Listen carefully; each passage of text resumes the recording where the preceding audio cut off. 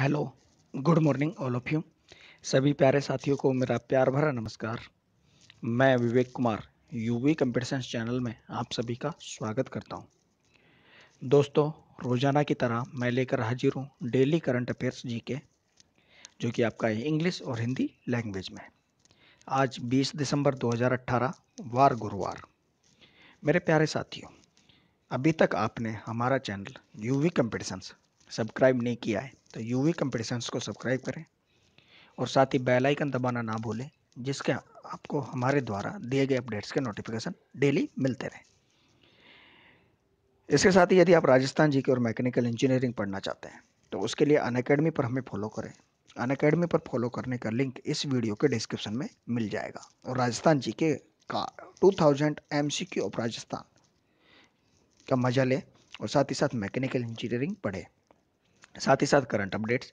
recruitment notice quiz help centre के लिए आप यूवी कंपटीशंस जो कि इंस्टाग्राम पेज है वहाँ पर भी आप हमें फॉलो कर सकते हैं आइए शुरू करते हैं आज के मुख्य समाचार सबसे पहले बात करते हैं नेशनल न्यूज राष्ट्रीय समाचारों की the G S L V F eleven carrying GSAT seven A was successfully launch from the space research centre Sriharikota by ISRO space research centre Sriharikota में G S L V seven A के साथ G S L V F eleven का सफलतापूर्वक launch किया गया है next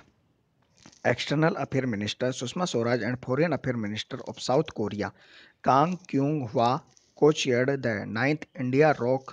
joint commission meeting Ms Kyung Hwa arrived in New Delhi on a two day visit to India विदेश मंत्री सुषमा स्वराज और दक्षिण कोरिया की विदेश मामलों की मंत्री कंग क्योंग व्या ने नवी इंडिया रॉक आय, संयुक्त आयोग की बैठक की सह अध्यक्षता की सुश्री क्योंग वहा नई दिल्ली में भारत की दो दिवसीय यात्रा पर है नेक्स्ट इंटरनेशनल समाचार अंतर्राष्ट्रीय समाचार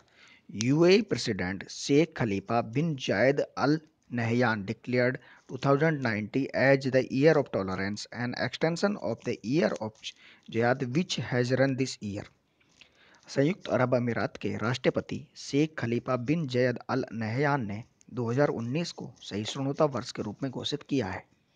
यह इस वर्ष चलाए गए जैद वर्ष का विस्तार है नेक्स्ट अवार्ड्स पुरस्कार union minister of textile Shri Smriti Zubin Irani presented award to handicraft exporters for their out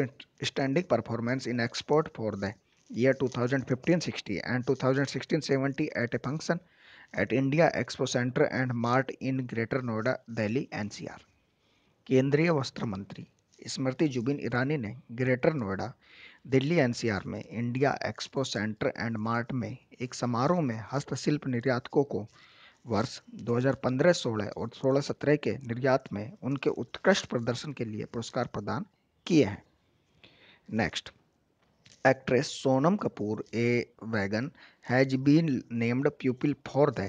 ethical treatment of animals PETA India's person of the year for 2018 शाकाहारी अभिनेत्री सोनम कपूर को 2018 के लिए people for the ethical treatment of animal PETA India का person of the year नामित किया गया है नेक्स्ट अपॉइंटमेंट्स नियुक्ति C B I joint director M Nageswara Rao who is currently the interim CBI director was promoted to the rank of additional director by the appointments committee of the cabinet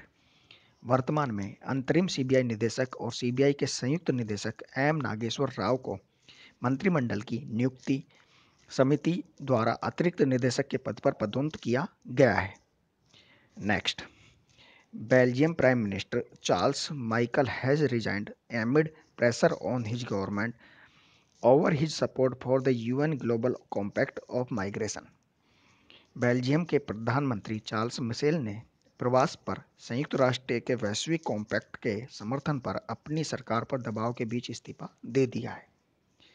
next Ranksand report, Rankium report, India has been ranked 108th in World Economic Forum WEF Gender Gap Index 2080, same as 2070, while recording improvement in wage equality for similar work and fully closing its tertiary education gender gap for the first time. Bharat को विश्व आर्थिक मंच W e लिंग अंतराल सूचकांक 2018 में 108वें स्थान पर रखा गया है यह स्थिति 2017 के समान है जबकि इस का इसी तरह के कार्य के लिए मजदूरी समानता में सुधार दर्ज किया गया है और पहली बार अपनी तृतीय शिक्षा लिंग अंतर को समाप्त किया गया है next and last news obituaries निधन former prime minister of Nepal Tulsi Giri has passed away in Kathmandu he was 93 three years old Giri was suffering from liver cancer for a long time Nepal के पूर्व प्रधानमंत्री तुलसी गिरी का काठमांडू में निधन हो गया है वह तिरानवे वर्ष के थे गिरी लंबे समय से यकृत कैंसर से पीड़ित थे तो मेरे प्यारे साथियों ये थे आज के मुख्य समाचार जो कि कंपटीशन एग्जाम्स की दृष्टि से इम्पोर्टेंट है यदि आपको हमारे वीडियोज़ पसंद आते हैं तो लाइक करें जो भी आपकी क्वेरी है जो भी क्वेश्चन है वो कमेंट करें यूवी कंपटीशन चैनल को सब्सक्राइब करें और साथ ही हमें फेसबुक इंस्टाग्राम और अन अकेडमी पर फॉलो करें थैंक यू सो मच धन्यवाद आपका दिन शुभ हो